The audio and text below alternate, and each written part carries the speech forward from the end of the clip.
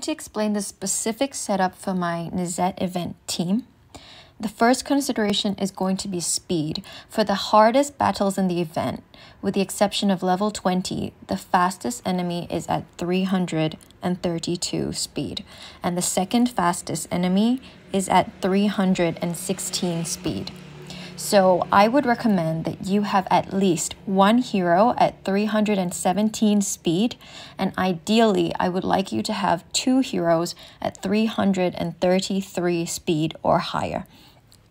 The second consideration is going to be resistance. The highest enemy resistance is at 200 res. So I would recommend a Vepris build with at least 150 accuracy to give 50% chance of landing Assassin's Mark. Now, I also want to talk about mana gain. So, ideally, you will want a Strybog with a passive maxed to give 30 mana at the start of the battle. With Vepris at 22 mana gain and with maxed ability, she is going to be three, uh, 23 mana gain.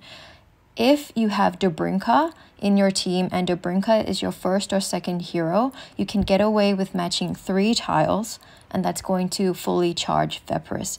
Otherwise, you can bring Najar for the immunity at the start of the wave, and you can match four tiles or make it up with potions.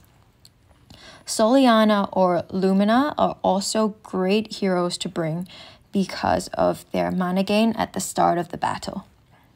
My Strybog has a charge set on him, but this is not needed. And in fact, I do not fire him in the first turn because I know that with Vepris going first and matching three tiles or four tiles, both Vepris and my AoE will charge up without Strybog special.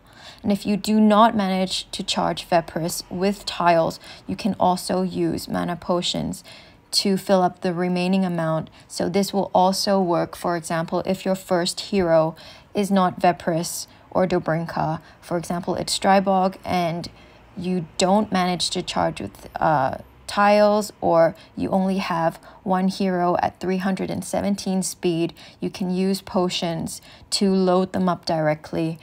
Um, if you have it set up my way, you'll be able to save a few more potions but all in all, it's not a deal breaker. You can use this exact hero setup for every single battle and it works. So that's it for today, and I hope this helps with the event. Bye!